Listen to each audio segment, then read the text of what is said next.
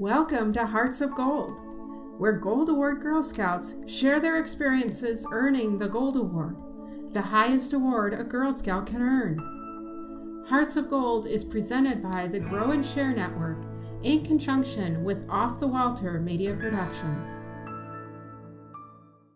Welcome to Hearts of Gold. Today we have Elizabeth with us. Hi, Elizabeth. Can you tell us about your Gold Award Girl Scout project?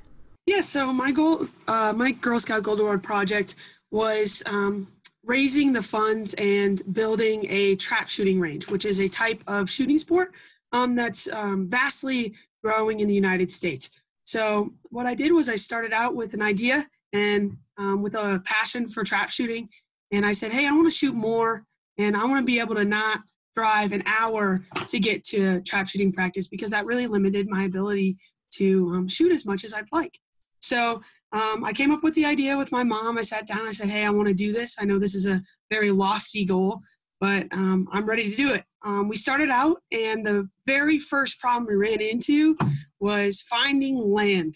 So um, obviously, with um, shooting sports, um, when you shoot a weapon, it, it, it travels some some uh, distance, and you have to make sure all the safety parameters and things are in place so that no one gets hurt. So um, we found land eventually and we raised funds over a year and a half, uh, almost two years, um, to produce a trap shooting facility as of now, just trap shooting, um, with two trap shooting fields um, that my high school that I graduated, uh, graduated from, that their team can shoot at, and also the surrounding high schools. And I understand that, as you as you mentioned, um, you used to have to travel over an hour in order to be able to trap shoot. Um, and you and your brother were extremely involved in shooting sports and um, are very, very good at it. Um, and so you wanted, obviously, you wanted to bring this closer. But another aspect of your project was by having it closer and being able to have the high school have a team and such. Um, another root cause was that you were able to promote gun safety. So can you can, can you share some background on gun safety and how learning how to skeet shoot can encourage gun safety in the in our communities? Yeah, so um, a huge um, problem within um, just uh, the big debate of, of politics and things like that is gun safety um, and it, should people have guns and things like that. Um, I never really got into it. My only concern was if we do have people handling weapons, we needed to make sure that they know how to handle them and they know how to handle them safely.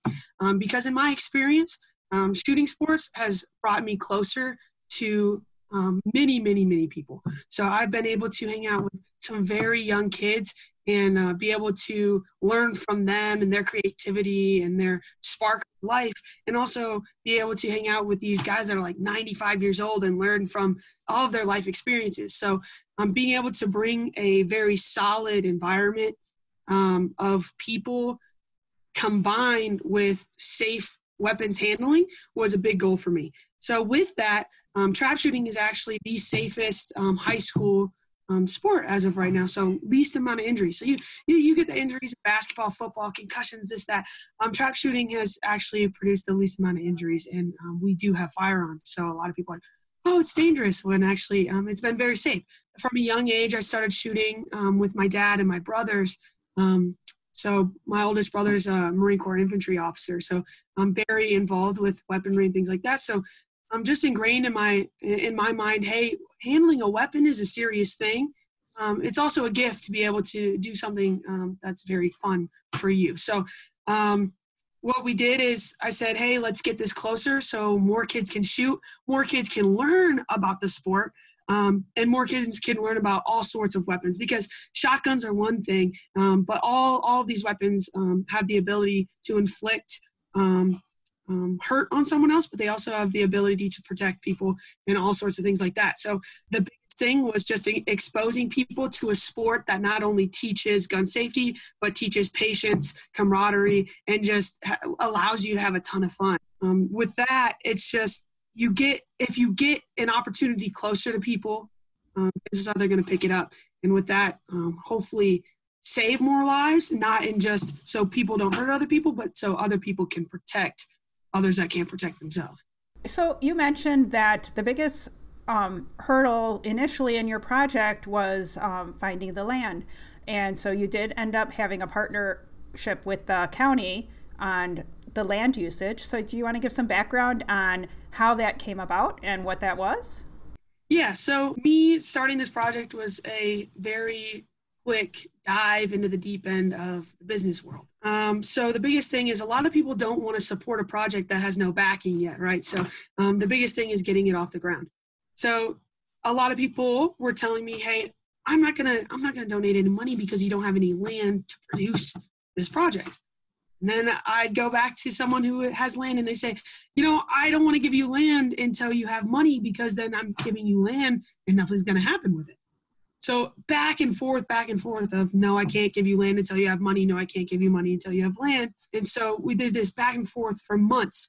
And I was so close to giving up on this project. I was like, Mom, it's never going to happen. We can't do it. No one's going to give us anything. And then I was able to partner up with a county supervisor who um, then informed me that, hey, if you go and you meet with the county um, board of supervisors, we might be able to give you this plot of land um, that is near uh, the transfer station and you can shoot out there and it's a long-term lease and, and we'd love to gift it to you um, to be able to build this range to, to help the community. And so I went and I gave my pitch and I, I gave it my all and they ended up approving it. So we got the land and it really took off from there. And you did do a lot of fundraising in order to be able to build um, and support the pieces in order to put together the shooting range. Um, I know that, for example, you had to build a pit toilet and you had to have some research and experience with that. Um, can you tell us about um, how you went about working on getting funds and then what you did with the funds in order to actually create the range? Yes. So um, I am beyond blessed to have two parents that are insanely intelligent um, in the business world. So my mom um, was amazing, amazing lady who just taught me everything about cold calls. Cold calls are a gift, um, even though they're they're nerve wracking um, when you just call someone up and they're not expecting it and you're on the phone, it's really hard for someone to say no. so um, just learning the aspects of cold calls and um, just going to someone's store and being like, hey, this is who I am. This is my project. Please donate. Um, going up and them seeing you, it's really hard for them to say no. So it, the more you got involved, the more you asked, um, the more successful uh, um, I became. So with that, I what I did was I just called an immense list of people every single day. Every single day. I'd get home from school and I'd work on this project.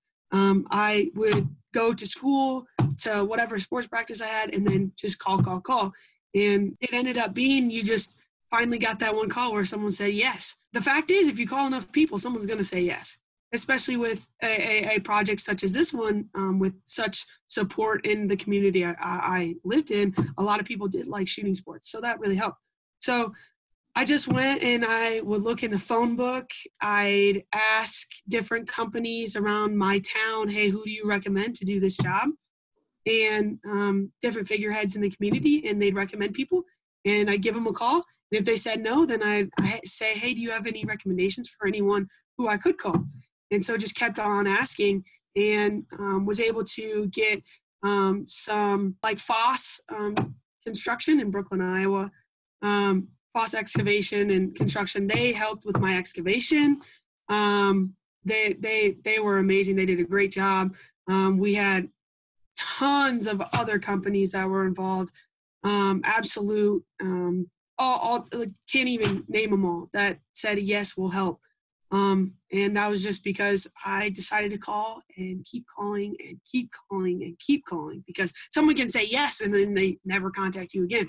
So as long as you just say persistent and some people would say annoying, but um, as long as you get your job done, I, I'd say it's good. So it was just beyond busy work of calling people and just continuing to ask.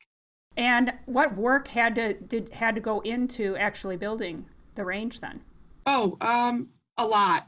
Uh, so it was, this was a big project that um, I wouldn't say was a burden on me, but it definitely was a huge time commitment. So once we got all the funds, um, we started to um, build the range. So the first thing was we got this plot of land that was not flat whatsoever. It, it, it was like a downward slope and then a huge drop off. Um, and so we had to bring in um, some guys to do the excavation and flatten this land out. And a lot of change happened in like no time. Um, they they brought the biggest machinery out I've ever seen in my entire life, like these huge um, boulders and things like that. So and they leveled it off. And once they leveled it off, um, we had to bring um, the concrete guys in. So we brought Absolute in, and they um, helped to pour the concrete slabs for the trap shooting range where you sit, like uh, where you stand and shoot. Um, we had to have some other guys come out and dig the holes for the trap shooting house that sits in the ground, and um, those are like six feet tall. Um, the, the houses themselves, so they have to go like four feet in the ground. Manatt's um, came out and gave us the old skim off. They were redoing some roads and gave us um, the gravel off the sides of it and put it down um, as a road to get back into the range. We had a company bring out um, the the clubhouse that was put out there, a little clubhouse. We had people come out and put the um, septic tank in, the outhouse, like the top of it on, like anything you could think of. Um, we had to get all these people to come in and do it, um, and most of them were absolutely amazing when it came to helping. And they said, you know what, hey, we might need to charge you this amount, but we're going to help you here or we're going to help you here. And, in, and every single time they did that, it helped because um, it's a very expensive project. Um, and so we had to have wiring done also. So just, just a ton of, of stuff um, that needed done. And all these, all these amazing people um, came in to assist in that and ended up getting it done. So. And then you have another partner that um, is now um, continuing to maintain the range and um, organize it. And so, can you tell us about that partner and how um, they helped you during your project and how the transition from when your project was over to when they completely took over, how all that happened? Yeah. So, um, the one of the biggest things about shooting ranges is you need insurance, you need bylaws, you need all these things that all these businesses need that I had no idea as a junior in high school. So um, not only was this a fun experience, but it was a huge learning experience. Um, so I needed, I was like, Mom, I cannot write all these bylaws. I don't know what any of this is. I'm not a lawyer. I don't know any of this. So we came up with the idea to um, partner up with the PCSA, which is the Poweshiek County Shooting Shooters Association. What that is is it's um, it's an organization that has three ranges. And what they did is they said, hey, we'll vote you in if you build it all and we'll take care of it once you leave. Because I said, you know, I, I want to build this project, but I want to go to college. I, I, can't stay here and take care of this. So, um, and my uh, my parents have to work. So, would you be able to take this up? And so they voted me in. They voted yes. Um, and so they picked up my range as a, another entity to their um, organization. And with that, um, all their bylaws, their insurance, their membership, all that went on to them. So then they take care of all that. They now mow it, they maintain it, they let the members in, they let all they take care of all of it. So all I did, I I was the contractor. I built it. I raised the funds to do it, and then I built it. And now they're taking care of it, which um, I'm very very happy about. What was your biggest challenge during your project, and how did you work through it? Uh, you know what? As a as a kid, it's really hard to stay very dedicated to something, especially um, in an 18 year old's lifetime. Two years is a very large amount. So being able to just stay in it and say, you know what, this is a hard point right now, but it's worth it. The end goal is worth it was really hard for me because not only were my friends hanging out going to the basketball game, doing this, doing that, and I'm at home making these phone calls, going to talk to these people. Everyone else is sleeping in on the weekends. I have to wake up and drive an hour to go talk to somebody. Um, just all those things where they were, hey, I'm, I'm gonna I'm gonna hang out. We're gonna go do this, and I said, you know what, I, I got to work on my project. That was a sacrifice in itself, but it um, helped me got, get to where I am today, and I'm very very happy for my deci- with my decisions. Um, never would I take it back. Never would I say, hey, I didn't want to build this range. So the biggest thing was just the time commitment and the constant grind of it all because it, it not only wears on you, but like my mom was, and my mom and dad were huge supporters in it. I, I couldn't have done any of, it, of this without my family and they were um, you you know you get frustrated and you get mad at them and it's not their fault but you just you just get mad and you're like and then you end up working out and you're like i'm sorry i'm sorry i got mad at you. I'm just very frustrated. This is this is so frustrating that people keep on saying no. I want them to say yes. So persisting through the no's. Because after you get like 10 no's as a kid you're like oh i'm never going to get it. But then that 11th one is a yes. So just the just the consistency of just pushing through and saying, you know what, this next one is going to be a yes. Because the more you say that, the more you're going to call, and then eventually it's finally going to be a yes. So the Girl Scout Gold Award Project um, has an 80 hour suggestion for hours.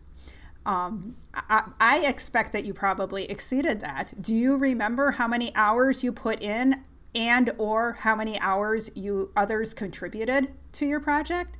So I never um, really kept track of the hours like that. Um, I never considered it like that. Um, I don't, when I take on a project, it's more a start to finish. It's not, hey, what are my minimums?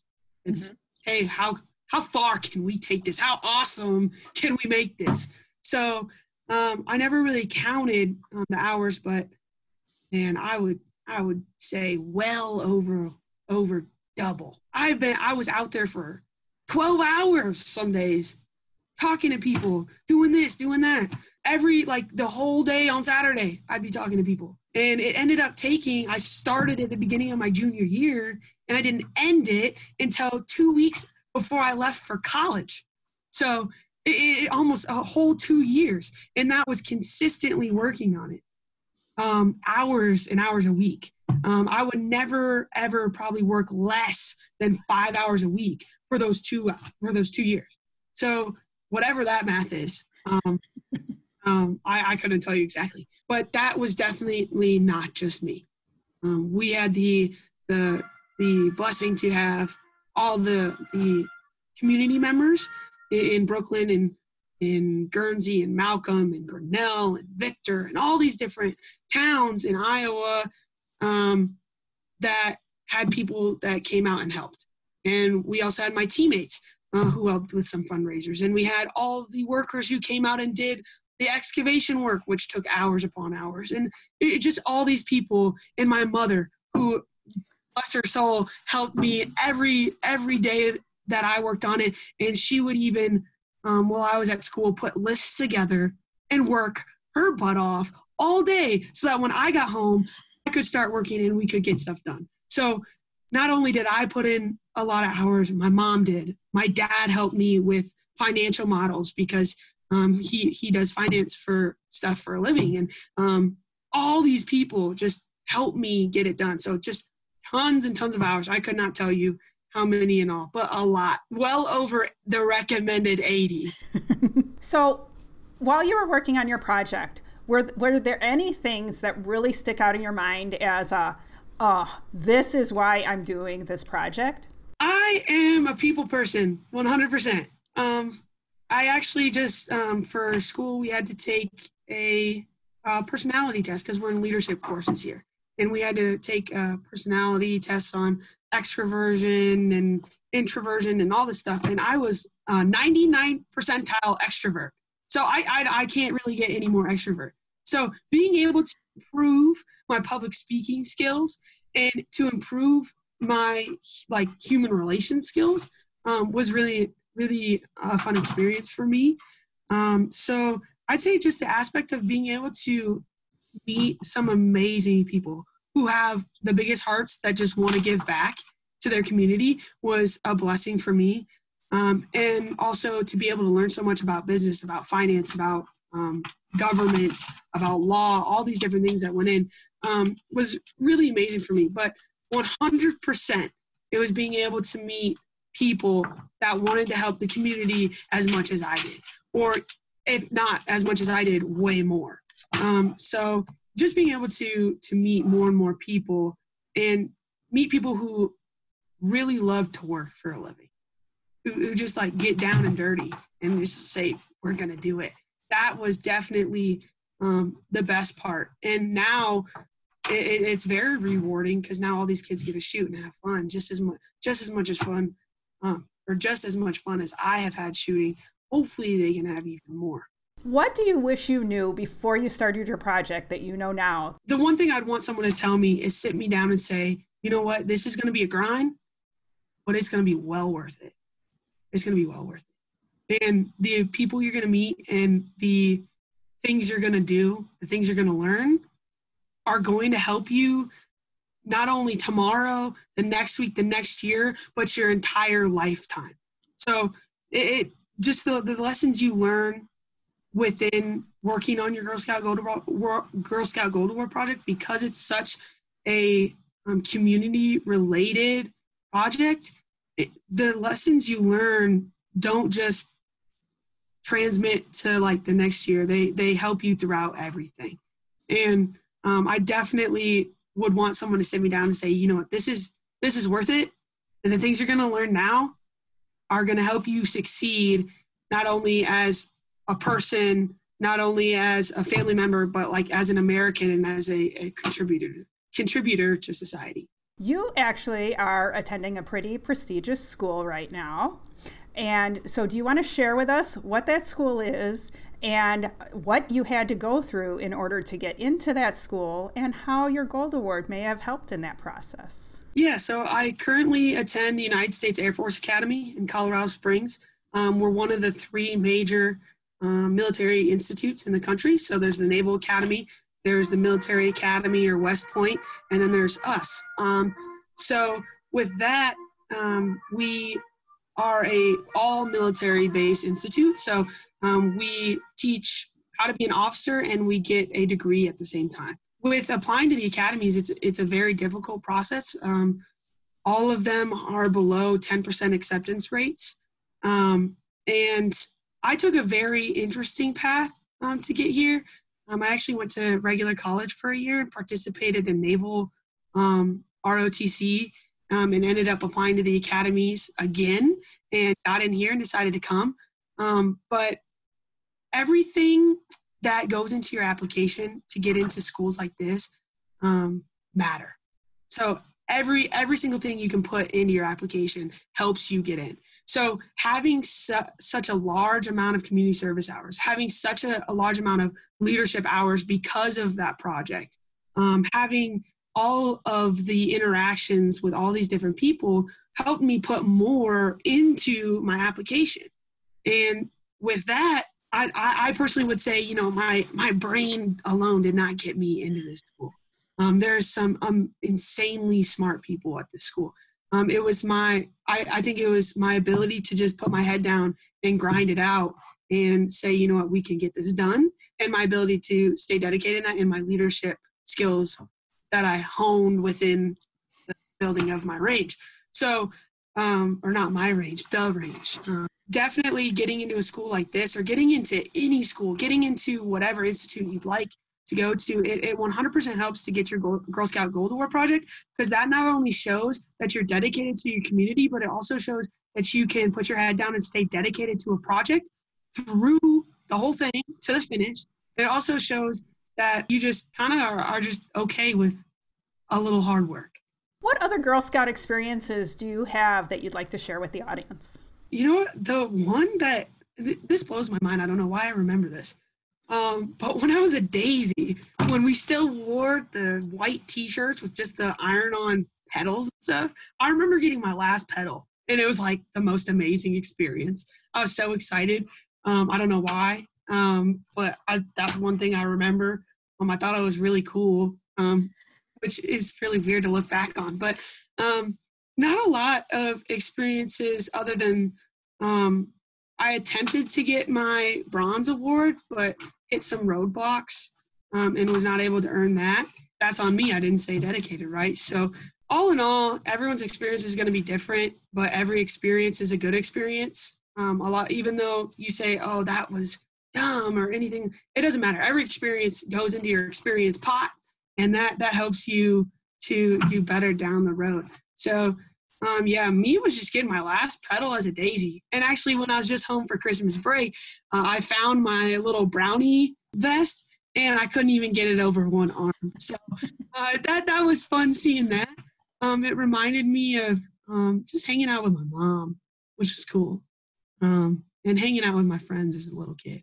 So just just that. I don't know. I have a really good relationship with my parents. So um, just being able to like look back and be like, man, being a little kid was awesome is is pretty fun. And Girl Scouts helps me do that because um, I was able to um, do all these different things um, with just meeting people. Is there anything else that you'd like to share with the audience? The only thing is, if, if you want to get your gold award, don't be scared. There's nothing to be scared about. Um, should never be scared of hard work. You should never be scared of um, what we, the kids call the grind. Um, you know you don't don't be scared. A lot of a lot of people now i feel like are taught to like dip their toe in into the pool of life but no um, it's definitely worth it to dive right in. Find something you're passionate about. Um, mine was shooting sports. Um, i still continue to shoot a lot and love the sport. So um, being able to do something i was passionate about helped it kept me dedicated so pick something you're passionate about and you know what just go for it what is your favorite s'mores trick I'm a pretty basic gal. I like to just burn it. I burn my marshmallow. Um, I, I just stick it in the fire and let it let it turn all crispy. So, um, but my, my favorite thing is a lot of people do the graham cracker in the, the chocolate. I just get Chips Ahoy cookies, get the two in one, and it's a lot better. So I'd say that's that's a basic thing is burn the marshmallow and then Chips Ahoy. Alrighty then. Yeah.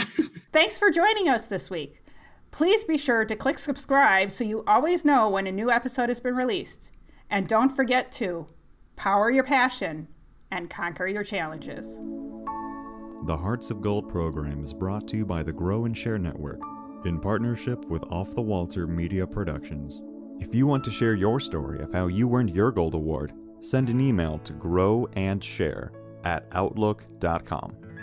All episodes of the Hearts of Gold program are available to view at youtube.com slash Sheryl Robinson. That's youtube.com slash S-H-E-R-Y-L Sheryl Robinson. Thank you for listening. Take care, and we'll see you next time.